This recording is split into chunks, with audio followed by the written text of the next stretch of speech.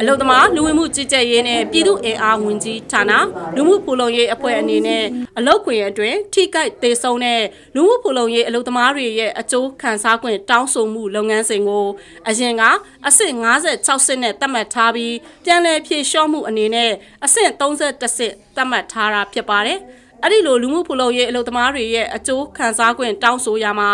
ပုံမလွယ်ကူစေဖို့အတွက် IT စနစ်နဲ့စမ်းသပ်လှုပ်ဆောင်နေပြီးလာမယ့်ဒီဇင်ဘာလအတွင်းစတင်လှုပ်ဆောင်နိုင်တော့မှာဖြစ်တယ်လို့လူမှုဖူလုံရေးအဖွဲ့ညွှန်ကြားရေးမှူးချုပ်ဦးမမောင်အေးကပြောပါတယ်။ IT စနစ်ကိုသွားလို့ရှိရင်ကျွန်တော်နောက်ထပ်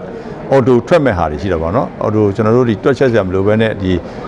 ကျိုးခံစား benefit တွေဆိုရင် auto ထွက်မယ်ထွက်လာလို့ရှိရင်ဒီထဲမှာက ထားကျော်လာမယ်16ရှင်းလောက်ပဲကြာမှာပေါ့နော်ဒါလေးကျွန်တော်တို့ဒါလေ့လာမှုတွေလုပ်ပြီးတော့စမ်းသပ်မှုတွေလုပ်နေပြီလုပ်နေပြီဆိုတော့စမ်းသပ်မှုက6လပေါ့ကျွန်တော်ဒီဇင်ဘာလဆို6လပြည့်ပါမယ်အဲ့ဒါပြည့်လို့ရှိရင်ကျွန်တော်တို့ဒီယုံယုံနှစ်ယုံစမ်းထားတဲ့ဟာကနောက်ထပ်ယုံတွေကိုတိုးချက်ဖို့ကျွန်တော်ဆောင်ရွက်မှာပေါ့နော်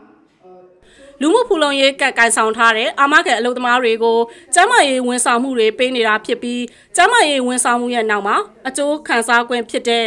ဆေးခွင့်ယူတာကြောင့်အလုပ်ပြက်ကွက်တဲ့အခါ စားဝတ်နေရေးအတွက်လူမှုဖူလုံရေးအဖွဲ့ကတာဝန်ယူလှုပ်ဆောင်မှုတွေမှာကြံ့ကြာမှုတွေအတွက်ဖြေလျှော့မှုတွေလှုပ်ဆောင်နေတယ်လို့လည်းပြောပါတယ်။အဲဒီရိုးခန္ဓာခွင့်တွေကိုအမကလို့သမားတွေကတောင်းလာတယ်ကျွန်တော်ဆေးခွင့်ယူတယ်ပေါ့နော်ဆေးခွင့်ယူတယ်ဆေးနာတွေဖြစ်တယ်ဆိုလို့ရှိရင်ကျွန်တော်တို့ကသူတို့အလုပ်ပြက်ကွက်တဲ့အချိန်မှာသူတို့ရဲ့ဟိုစားဖို့နေရေးအတွက်ပေါ့ကျွန်တော်တို့မလို့ရတာဝန်ယူတာပါ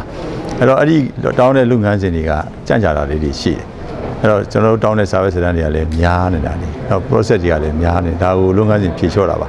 အဲ့ဒါကိုအဓိကလုပ်ငန်းစဉ်ရက်နေတယ်ကျွန်တော်တို့နဲ့ ILO နဲ့ဆွေးနွေးတယ်အဲ့ဒီကနေမှကျွန်တော်တို့ဒီ